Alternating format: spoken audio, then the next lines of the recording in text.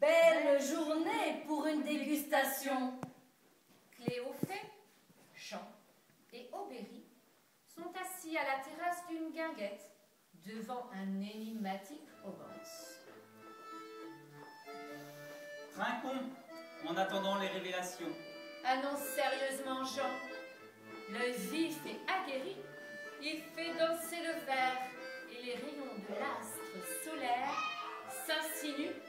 dans le liquide sacré. Une belle robe nacrée, or pâle, enveloppe ce bijou minéral qui accroche le soleil comme le jaune s'approprie la lumière. Un peintre y trouverait là une parfaite harmonie. Confie Aubéry.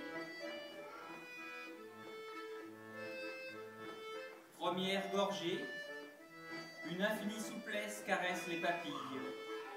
Rond, puissant, issu d'un berceau de schiste, il a la délicatesse du chenin. Cléophée, plus experte, lui trouve un nez.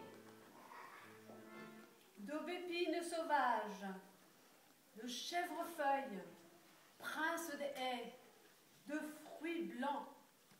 Une valse fleurie illumine nos papilles. L'abricot, le brugnon, la banane et la cerise enjouée chantonnent doucement des secrets. La pomme, la poire généreuse, la complexité des fruits secs se révèlent doucement. Aubéry nous resserre.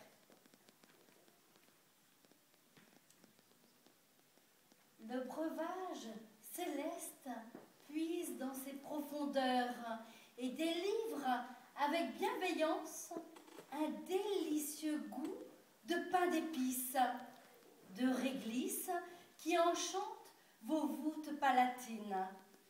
Un brin pimenté, il arbore fièrement ses étoiles vétiver. Une vraie nymphe aux multiples facettes,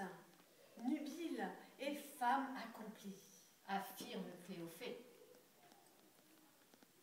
Si vous deviez l'associer à un tableau, lequel vous viendrait à l'esprit? Demande Jean. Chemin à travers les coquelicots de Monet, confie Aubéry. La nature y est fraîche, fleurie.